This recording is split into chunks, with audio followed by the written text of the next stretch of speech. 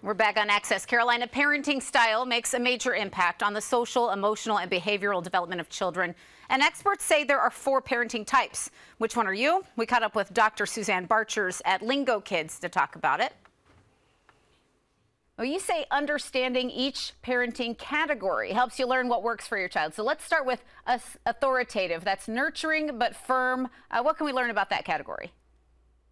In that category, you have clear expectations that you've communicated with the child. You're more likely to have logical consequences.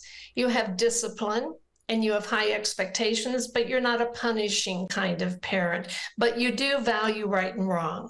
Okay. And then the next one is a parent who might be very loving, but they provide few guidelines, very few rules. What should we understand about the permissive parenting style?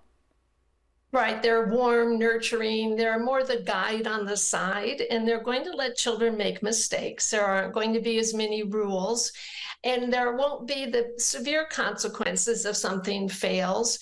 Um, you may just say, okay, what can we learn from that and move on.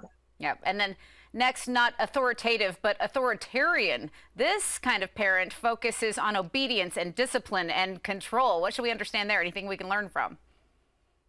Right. There's no gray areas with that parent. It's black and white. They know exactly what they want their child to do and behave, how to behave. And sometimes that can be a problem.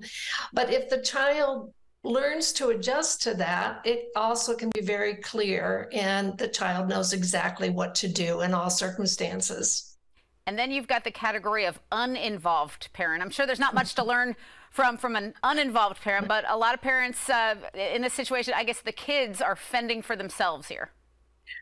That's right. And that's often the case where a parent uh, is maybe just so busy. Maybe it's a single parent who's working two jobs just to get by.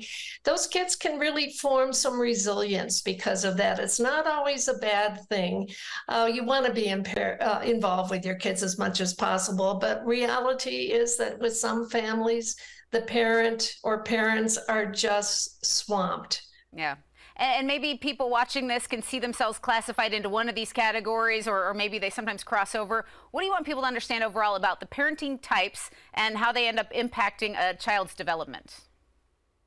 I think one thing is that once you see your primary type, you can reflect on that and say, is that working best with my child? Is my child resonating with it? Do I need to change?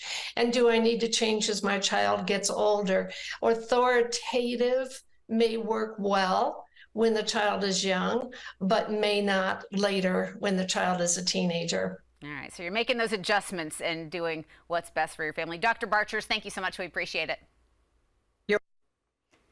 And LingoKids is a learning app for kids ages two to eight years old. A lot of resources and articles there as well about parenting and about education.